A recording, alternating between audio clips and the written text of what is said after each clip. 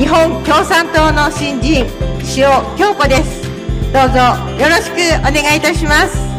これまで34年間市民の暮らしを守る先頭に立ってこられた高橋明子さんが今期限りで入隊することになりました。